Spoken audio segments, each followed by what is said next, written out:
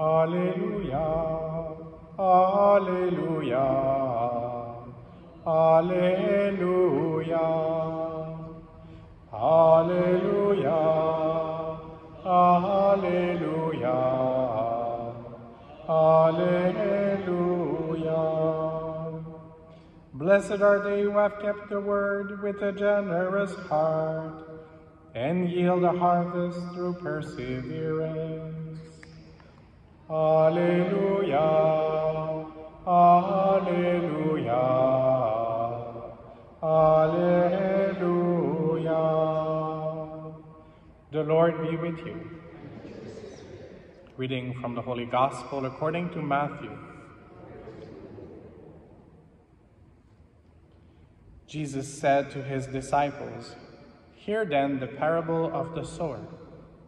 When anyone hears the word of the kingdom and does not understand it, the evil one comes and snatches away what is sown in the heart. This is what was sown on the path. As for what was sown on rocky ground, this is the one who hears the word and immediately receives it with joy. Yet such a person has no root, but endures only for a while. And when trouble or persecution arises on account of the word, that person immediately falls away. As for what was sown among thorns, this is the one who hears the word, but the cares of the world and the lure of wealth choke the word, and it yields nothing. But as for what was sown on good soil, this is the one who hears the word and understands it, who indeed, indeed bears fruit and yields, in one case a hundredfold, in another sixty, and in another thirty. The Gospel of the Lord.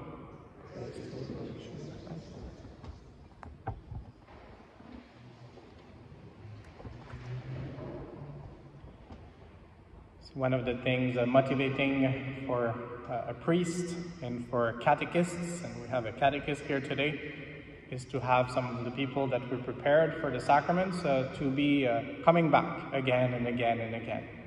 And so uh, here I see one person who received their first communion not too long ago, and so uh, every one of us are invited to receive Jesus, but I just pray that this is a grace that we treat it in such a way that uh, when we receive Jesus, it's like it's our first communion, maybe also our last communion, because we don't know when the Lord is calling us back. And so, welcome to everyone, but especially to people who might be catechists as well, or who have been catechists uh, before, and uh, for our first uh, communion person uh, who received a few months ago and is here today.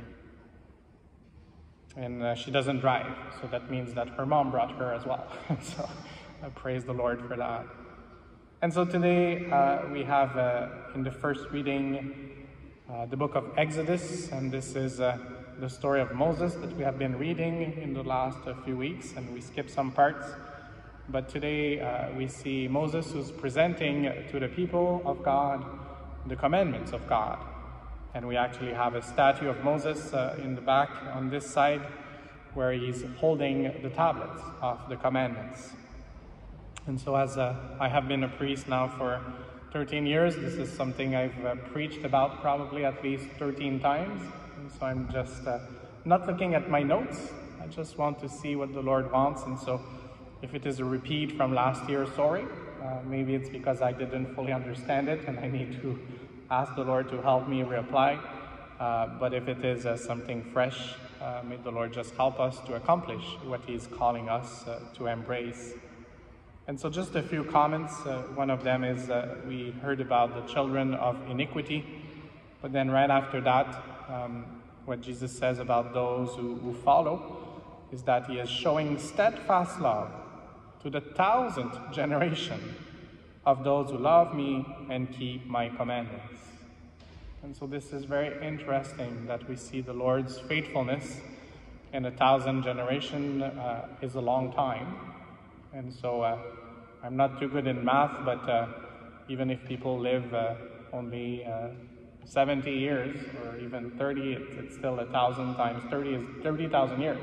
And so the people were faithful to God uh, 30,000 years ago, if the age limit was 30, uh, would still be listened to um, by the Lord in, in, such a beautiful way. So that shows, uh, in a thousand is a symbolic number, but it shows that uh, His love is everlasting.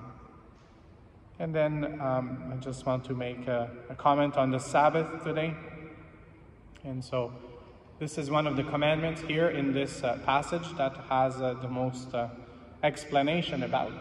And so I will not uh, reread it completely. I'll miss one part, but we heard, Remember the Sabbath day and keep it holy.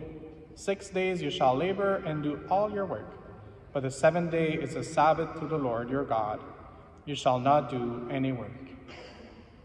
And some of you might be on vacation uh, at this time, and so you're, in a sense, fulfilling one of the commandments of the Lord, not only by having one day, but by having a period of time where you're trying to be refreshed, where you try to uh, follow some of his invitation as well. Jesus was uh, often worried for his disciples, the ones who were following him. And so uh, there is an episode in the gospel where he knew that they were tired and hungry. So he said, uh, Go have lunch and, and, rest, and then I'll do the work. Uh, and so uh, this is, in a sense, what he's telling us to do. Don't want to talk too much about lunch because we're at lunchtime, and so this might be uh, difficult to, uh, to hear those words uh, if we are hungry.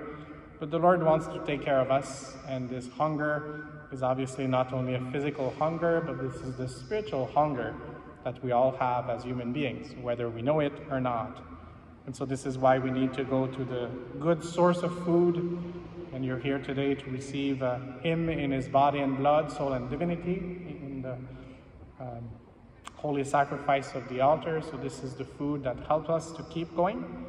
Even there is uh, the last communion that we call viaticum that is given to the people uh, in their last days or last hours that brings them all the way because of uh, Jesus uh, having his arms wide open uh, to open for us the gates of eternity. And so, also just one comment, and I will read another part of what we heard about the Sabbath today. For in six days the Lord made heaven and earth the sea and all that is in them, but rested the seventh day. Therefore the Lord blessed the Sabbath day and consecrated it. And so, one question uh, that I was uh, asking myself is that uh, sometimes some weeks go very well, there is no problem at all, and I don't feel tired. So, I don't, do I need to really rest if a week was perfect? And what I would ask uh, as the answer, which is another question, is Was God tired after six days?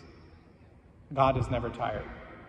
And so God showed us, and this is what it says here, uh, by example, that we need to take time set apart. Consecrated means set apart for Him. When we're tired, and this is easier to do, but even if we think that we're not tired, God Himself was not tired and did that. And so let us pray that we might uh, respect the Sabbath.